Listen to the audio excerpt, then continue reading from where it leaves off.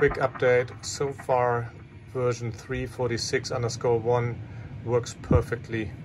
I'm on the second leg of my world tour. I departed in Tirana, Albania, crossing Greece in a moment, um, towards Antalya in Turkey. We're uh, on flight level 390. We have 33 passengers on board. Took off with just shy of 7 tons fuel. And um, here's a lovely iPad here and uh, just finish a nice small display so I have some uh, connection or some visibility of XPilot in the cockpit despite I have of course no keyboard mouse and computer display here. In my original setup I had no option to add a dedicated XPilot display to the master computer. This changed when I added a dedicated PC for the visual.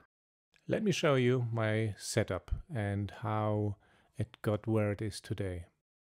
Let's start with the basics. Only five USB ports are used for the basic flight sim devices. The MCP is also driving the main instrument panel, both CDUs and the pedestal. The USB is translated into RS485 and it's a very handy setup. Next, the overhead panel, also by CP Flight, one USB. Then I have a couple of buttons via a Bodnar card. The FSC yoke uses a Bodnar card, and then the rudder pedal and the tiller is another Bodnar card. Two of the Bodnar cards and the Teensy are hooked up via an XSys uh, Ethernet to USB interface. The Cockpit for You throttle quadrant is connected via Ethernet. Avionics for the avionics, I ordered a custom PC which has a motherboard where I can use the three onboard video outputs in addition to the graphic card. So this computer runs a total of seven displays powered by ZHSI and ZCDU. The main PC had become two years old and also I was struggling to maintain a high frame rate when flying online on VATSIM.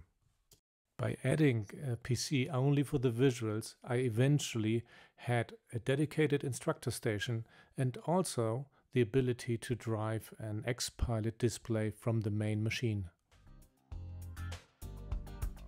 A look behind the scenes. Here you see the three projectors creating the 180 degree view really recommend it.